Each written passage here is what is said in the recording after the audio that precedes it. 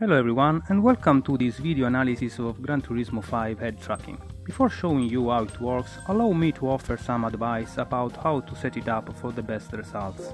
The game offers plenty of options to fiddle with, but the most important factor is the distance from the PS Eye.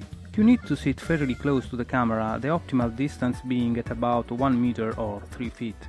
Also be sure you set the field of view to narrow by rotating the lens barrier on the PS Eye accordingly. Now let's see what else you can do. Face angle and position range options adjust how much the cockpit camera will turn or move around respectively. For the purpose of this video I'll set everything to max, but I'd suggest to set the angle value to around 5 and leave the position 1 to 10. The face recognition option is basically some sort of a sensitivity option, which you will have to fiddle with yourself because it's affected by light condition.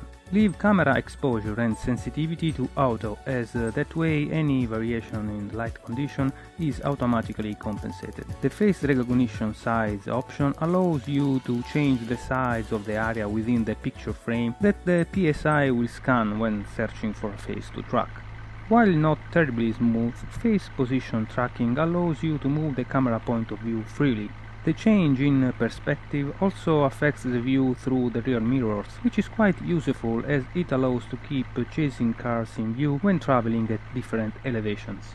As for angle tracking, it's pretty clear there is some sort of dead zone in place, which prevents camera rotation if you turn your head within an angle of about 15 degrees. This is of course meant to prevent constant camera movement uh, when uh, looking forward, but it's probably too big of a dead zone since you are forced to rotate the head too much away from the screen for even the smallest glimpse to the side. Interestingly, albeit glitchy, the head tracking works uh, even if your face is solely illuminated by the TV screen, thanks to the high sensitivity of the PS Eye.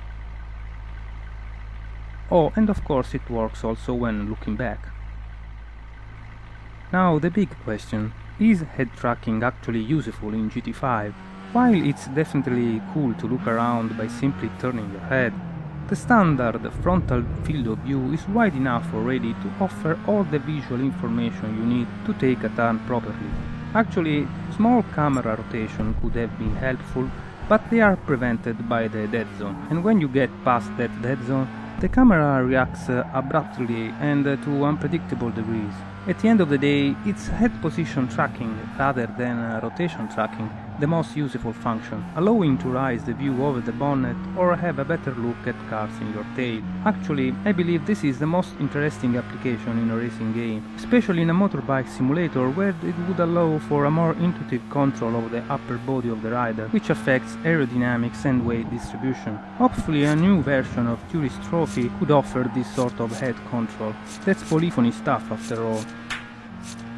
For now, in GT5 it doesn't make too much of a difference, it actually does more harm than good. Another thing to mention is that head tracking is only available in the arcade mode of GT5, with the exception of the two-player split screen mode. I assume this is due to the system resources required to make it work. In fact, while head tracking is possible at the beginner level of the arcade mode single race, it apparently isn't at the intermediate and professional.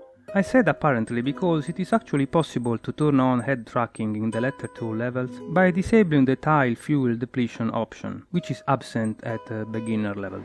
Some have suggested this is only because they don't want you to look around during the pit stops, which are only possible when the above mentioned option is on. But uh, that doesn't seem right, as you can look around during the pit stop regardless, using the left stick.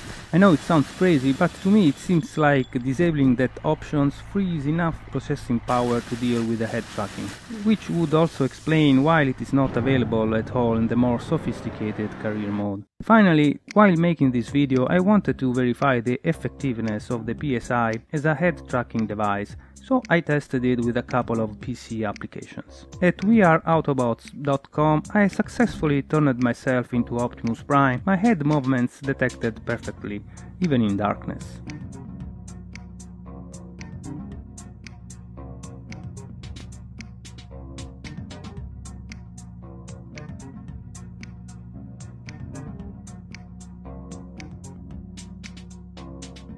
This other application here allows for an even more complex tracking, including eyebrows and mouth tracking.